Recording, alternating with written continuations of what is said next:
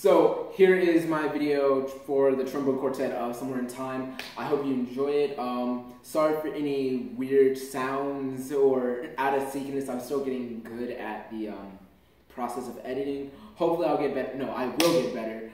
Hope you guys enjoy. Okay, okay. I did that because I was just like, it's gonna expand four of me. So hope you enjoy.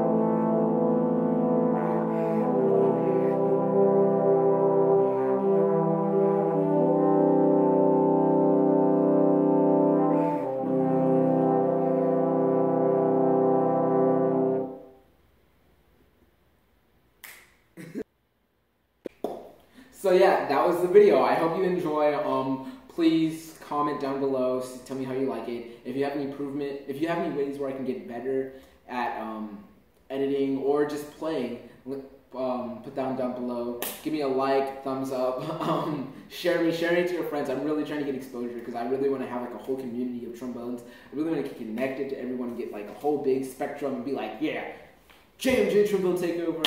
I hope you're inspired. Um, also, new thing, I want to change it to play um, play trombone sever. So at first it was five ever because I wanted to be like all cool and trendy and be like, no, I don't want to be forever, five ever. But then I was talking to a friend, I was just like, I should change it to seven because there's seven positions and sever, sever. So yeah, play trombone sever. See, that just kind of rolls off the tongue. You'd be like, what is sever? And then like one day I'll be like famous and they'll be like, every new viewer will be like, what is seven? It'll be like, it'll be just like, oh, seven positions, playing forever. Play trombone sever. oh my goodness, I finally have a thing. I'm like, okay, okay, it's gonna be like this. It's like this is like a little mock thing. So yeah, I hope you enjoyed the words. So I hope you enjoyed the video. Um, okay, I got it. Okay. So I hope you enjoyed the video. Please like, comment down below, share my video. Keep playing trombone sever.